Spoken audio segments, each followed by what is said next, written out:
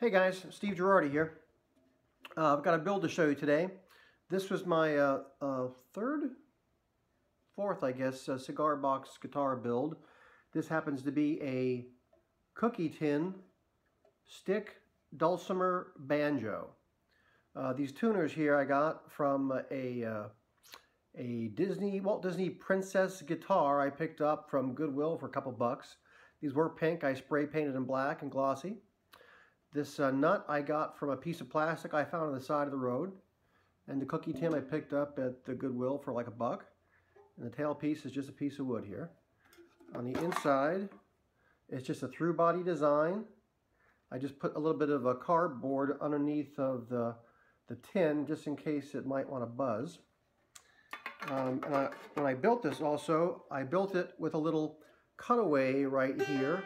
So in case you want to do frailing, or your claw hammer, you can do that and it has a little room underneath of it.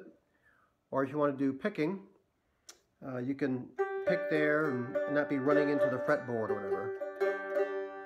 This is built on a 20 inch scale, the same as my baritone ukulele. Um, again, it's dulcimer scale, so I'm still trying to figure out what are the right notes, or the fretting rather, to go to produce notes for that. But it has, as you can hear,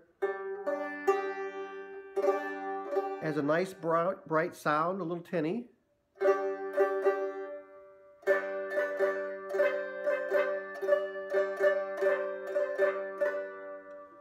And for using bar chords,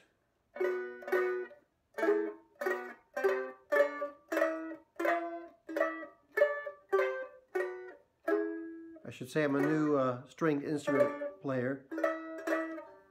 But uh, if you're thinking of building a cookie tin uh, dulcimer banjo, uh, this was pretty straightforward, pretty easy to do. Uh, give it a try.